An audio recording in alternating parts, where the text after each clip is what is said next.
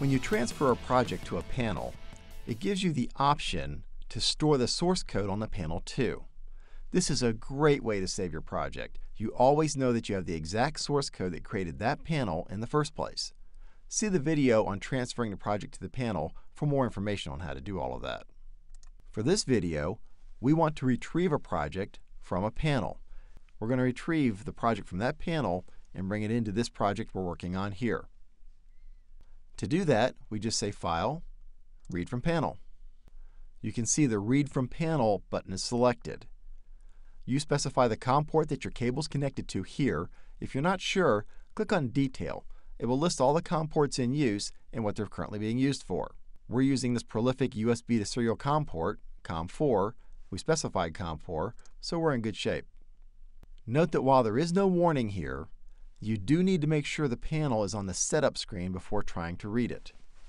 So I'm going to reach over and hold down F1 and F5 for a couple seconds.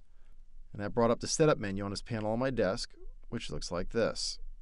If the setup menu doesn't come up, see the video on how to enable the setup screen or the video on how to prevent access to the setup screen.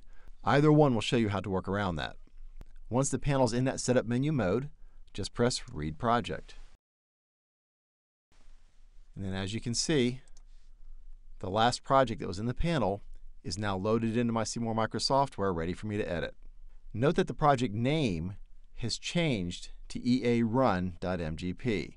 That's to make sure you don't accidentally overwrite any existing projects you may already have. Be sure to change that name to something that means something to you.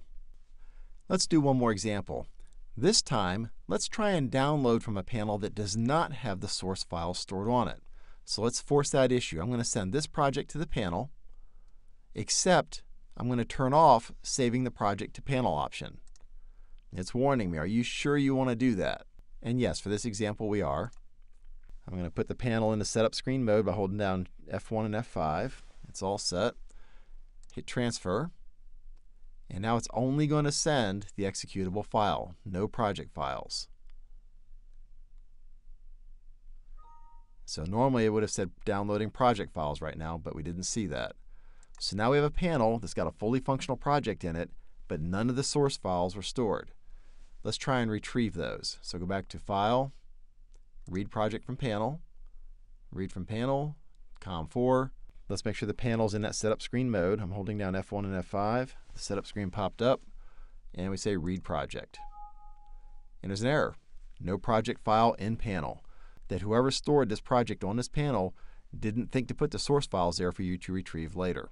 So it's really important that you include the source files with your project so if you ever need to refer to them in the future, you have them handy. Well, that's all there is to reading a project from a panel. Be sure to check out the other videos in this series. And as always, please send us any topics you would like to see covered, or any other comments for that matter. We appreciate the feedback.